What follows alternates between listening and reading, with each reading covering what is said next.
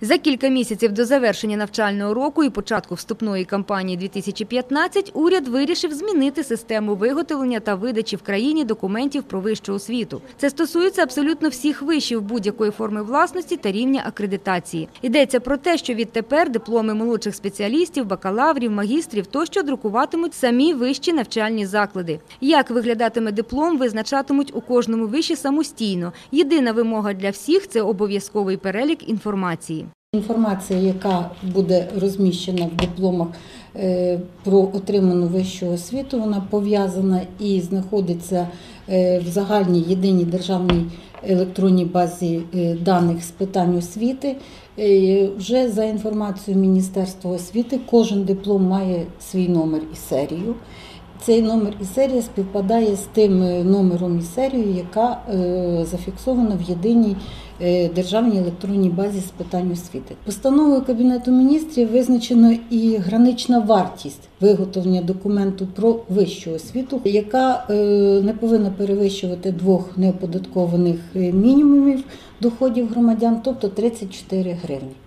У гуманітарно-педагогічній академії, попри нововведення, вирішили не змінювати форми і розміри дипломів. Видати їх своїм випускникам тут планують вже до 5 липня. Кажуть, відповідні документи вже відправили на електронну базу. Ми залишаємо дизайн і стандарт той, який був запропонований державою. На сьогоднішній день ми очікуємо е, верифікації документів, які ми відправили, і присвоєння серійних номерів е, дипломів наших студентів. Відповідно, тільки ми отримуємо ці дані, студенти зможуть отримати дипломи. Ну приблизно так як вони встановили термін до 10 днів обробка інформації, то ми плануємо, що до 5 липня, в принципі, діти повинні ці дипломи отримати.